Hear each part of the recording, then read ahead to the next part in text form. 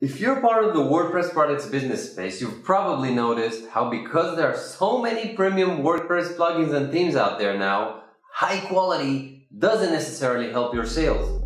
Instead, what ends up happening is leading WordPress products are the ones that are marketed the best.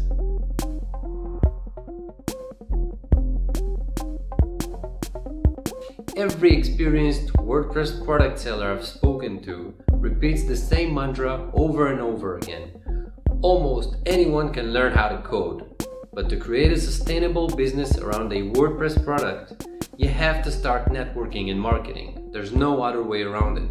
In this video, I want to show you how any WordPress developer can code their WordPress product, whatever it may be, a plugin or a theme, and start actively promoting it at the same time with hardly any additional effort. You may have heard of this channel I'm about to talk about recently when a teenager named Tyler Ninja Blevins got interviewed to CNBC confirming his monthly revenue only from people who watch his live streaming on Twitch is half a million dollars. That's his monthly revenue. And that's great for Mr. Tyler Ninja. And I'll link to that interview in the video description below. But what I'm here to tell you, dear WordPress developers, is that Twitch can be great for you as well because it allows you to start marketing your WordPress products and gain an audience for it while you're still building it and before you've even launched it. So how do you do that? Twitch is a platform that lets you live stream anything on your machine to an unlimited audience. Just you coding away and talking. And if you're wondering, who would want to watch me live code?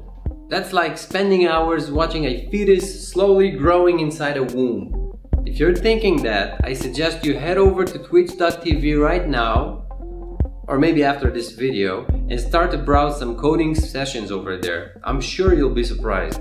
You're gonna come across some coders and gamers live streaming to a community that enjoys watching them and is very engaged and active on the live chat. For example, check out this guy who's doing live WordPress theme development and has established a community of about 2,600 followers, having streamed only 22 live coding sessions so far. That's nuts! In case you didn't already know this, YouTube also offers their own live streaming feature and there are plenty of people using that to build communities around their content. So you can go YouTube if that's your weapon of choice. The bottom line here is that you can use Twitch to build a large following of developers for your product. And now you must be wondering, why would I need other developers to follow the development of my product? How is that going to help my marketing if my customers are actually site owners? Well, in the WordPress sphere, developers are often influencers too. So this means that when the time comes and you launch your product out there, your WordPress developers community of followers is going to be aware of that and will be recommending it to their site owner clients, which will most likely recommend it to other site owners. This puts you at a much better starting point right out the gate. Actually, the Twitch wave has been on the rise for quite some time now, and we're not the only ones who noticed the phenomenon.